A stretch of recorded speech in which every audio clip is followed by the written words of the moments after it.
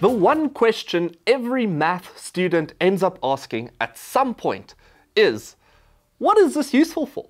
When can I use it? Where do you see this stuff in the real world?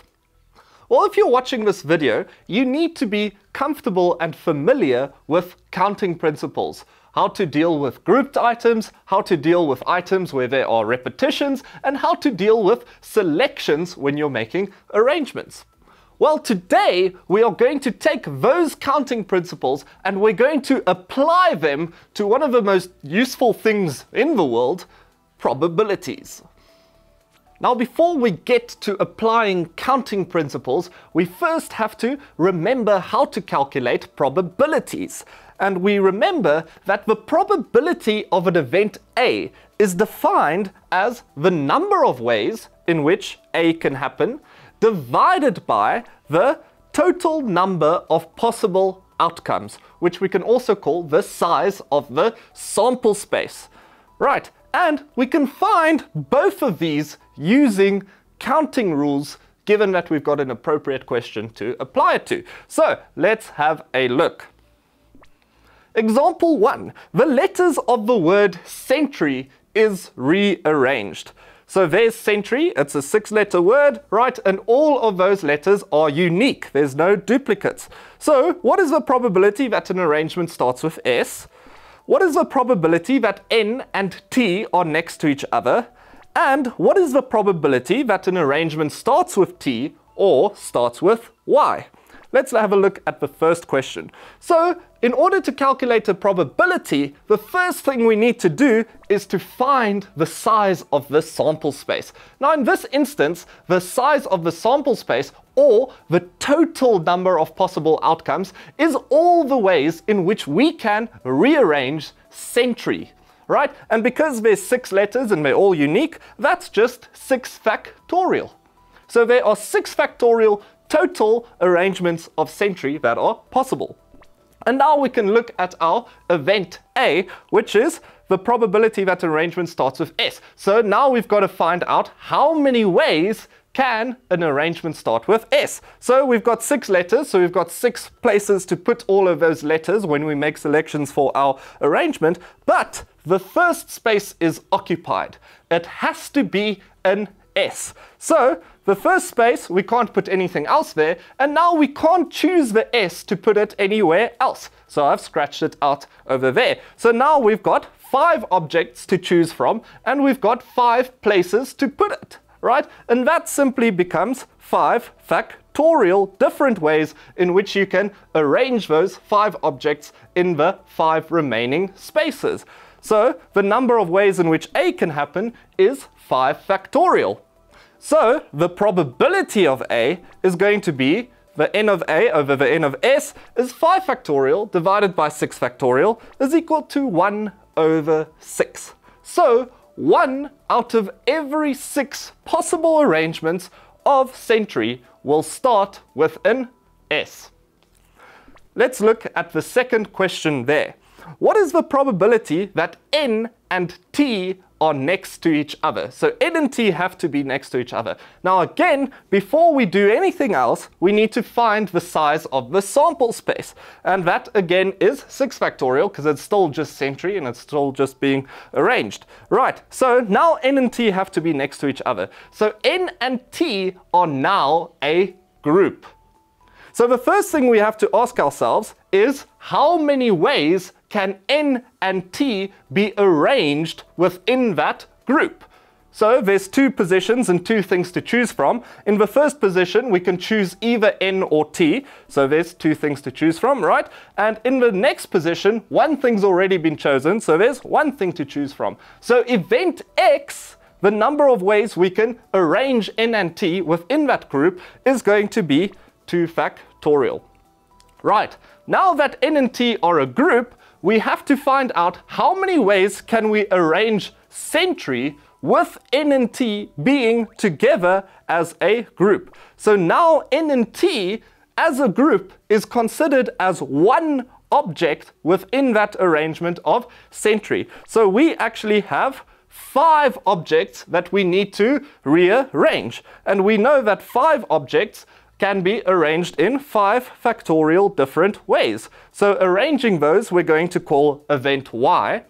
And then when we apply the fundamental counting principle, we find that the number of ways in which this event A can happen has to be the number of ways X can happen, rearranging N and T together within the group, and that multiplied by the number of ways Y can happen, which is rearranging everything but keeping N and T together as one object within that arrangement. And that's 2 factorial times 5 factorial, and that is going to be useful when we try and calculate the probability. So that becomes 2 factorial times 5 factorial divided by 6 factorial. And if you plug that into your calculator, you'll get 1 over 3.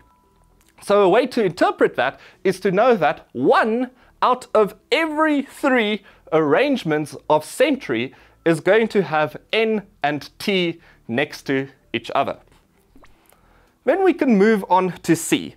What is the probability that an arrangement starts with t or starts with y? Well, again, we've got to know our sample size, and that's 6 factorial.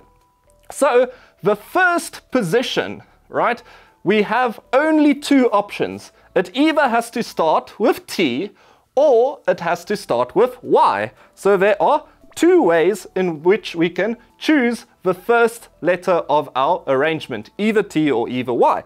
And then there are five positions left, and because we've chosen something to put in the first place, there are now five things to choose from for those five positions. So event Y, choosing the rest of them, is going to be able to be done in five factorial different ways. So then again, applying the fundamental counting principle, we've got to multiply the number of ways we can choose the first letter, multiplied by the number of ways we can choose the rest of them, event x and event y, and we're going to get 2 times 5 factorial as the total number of arrangements there. So then to find the probability, we've got to take the number of ways we can do A divided by the sample space, and we get 2 times 5 factorial divided by 6 factorial, and your calculator will give you 1 out of 3. So 1 out of every 3 arrangements of century starts with either a T or a Y. If you select a random arrangement from all the arrangements, there's a 1 out of 3 chance that you will end up with a selection that starts with a T or a Y. Now we move on to example 2. The letters of the word seesaw is rearranged. And some questions is, what is the probability that an arrangement starts with A and ends with W? So then again, we've got to find the number of ways in which this can be done in total, the sample space, right? So seesaw, we see there that we've got six letters, right? But we've got S that is repeated twice and E that is repeated twice. So we apply our counting principle that uh, deals with repetitions, right? And we now know that we have to have 6 factorial at the top for the 6 things that are arranged, divided by 2 factorial for the 2 s's that are repeated, times 2 factorial for the 2 e's that are repeated. And we find that there are 180 unique arrangements of seesaw where one s and the other s are seen as being exactly the same thing. Right, so now we've got to find out how we can arrange this so that it starts with an A and ends with a W, right? So it starts with an A, so we don't have an A to choose from anymore, so we can scratch that out. And it ends with a W, so we don't have a W to choose from anymore, right? That has to go at the end. So now we can just choose how to arrange the four things in the middle, right? So there are four things in the middle that need to be arranged, and the S is repeated twice and the E is repeated twice. So the number of ways we can rearrange the S, E, E, S that goes in the middle between the A that can't move and the W that can't move is going to be 4 factorial, because there's four things, divided by 2 factorial for the repeated S's times 2 factorial for the repeated E's, and that is going to be equal to 6. The probability there is going to be equal to 6 divided by 180. Let's have a look at example 3. A five-digit code is created from numbers only. Numbers may not be repeated in the code. So, as always, we have some questions. What is the probability that the code ends in a 2, 4 or 6? Or what is the probability that the code does not end in a 2, 4 or 6? Let's have a look. So for question one there, we start at the very beginning, which is a good place to start, and we are going to find the size of the sample space, right? So we've got a five digit code, right, that's made from numbers only, right? So numbers, there are, as far as I know, 10 of them that we use, right? And because we've got 10 and we're selecting 5 from them, that sounds like a selection. And we've got to use the counting principle that relates to selections. And you can see that rule on your screen over there, right? So just to remind you, we do have 10 numbers not 9 because 0 is included, even though the biggest one is 9, right? So we've got 10 things that we can choose from, and we're choosing 5 from them.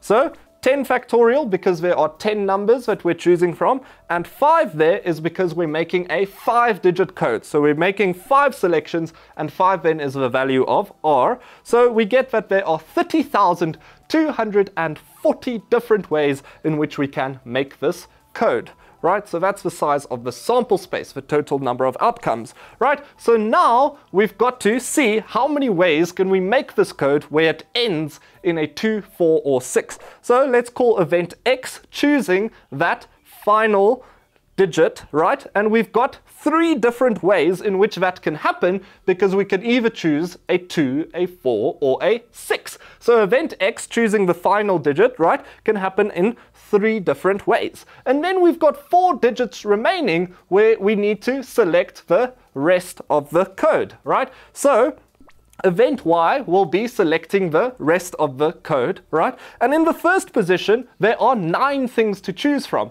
because one of our digits has been chosen and now belongs there at the end with event x. And then there's eight, seven, and six to choose from for the remaining ones. So using that, we can then find the number of ways in which this event A can happen, right? And you'll notice there that I've chosen to use the same rule that we use for selections for event Y because I've got nine things to choose from for event Y and I've got four places that I need to put those. So my number of selections is 4. So I've used that formula with 9 factorial at the top and the value of r being 4 in order to calculate the number of ways I can do event y. And then multiplying them together, you get 9,072. So then the probability is going to be the number of ways you can do A divided by the sample space is 9,072 divided by 30,240 is equal to 3 over 10. So if you randomly select one of the digit, well, one of the codes from all of the codes that you can possibly make, three out of them are going to end in a 2, 4, or 6. Right, let us move on to B here. What is the probability that the code does not end in a 2, 4, or 6? Well, let's just think about question A again. What is the probability that the code does end in a 2, 4, or 6? Yes, you're thinking it. These are complementary events, right? The one event and the other event are complete opposites of each other, and the two added together will give you the size of the sample space because all of the codes either end in 2, 4, or 6 or do not end in 2, 4, or 6. So not ending in 2, 4, or 6, we're going to call A, and ending in a 2, 4, or 6, we're going to call A prime, which we know means A's complement right? And we know that the probability of A plus the probability of A's complement must be equal to 1. So P of A is equal to 1 minus P of not A, or A's complement, right? And the probability of A's complement we actually figured out in the previous question. So lucky for us, we can just go 1 minus 3 over 10 is equal to 7 over 10. So do you see if you identify that you have complementary events, especially in sequential questions, then you can save yourself so much working out by finding the probability of the complement and then go 1 minus the probability of that. That frequently happens when it's so much easier to find the probability of the complement than it is for the original event. So keep that technique in mind. So let's summarize what we've done today. Again, the probability of an event is the number of ways in which it can happen divided by the total number of possible outcomes. And we first use the counting rules to find the size of our sample space. And then we interpret the restrictions, the things that they say in the question, must end in this, must start in that, that or that must be together. And we find the number of ways that can happen using our counting rules. And then we just go top divided by bottom. There you have counting principles applied to things such as groups, repetitions, and selections. So how about you apply yourself, maybe form a study group, do a few repetitions of some practice examples, and you could be part of a selection that makes your principal proud. And only you control the probability of that.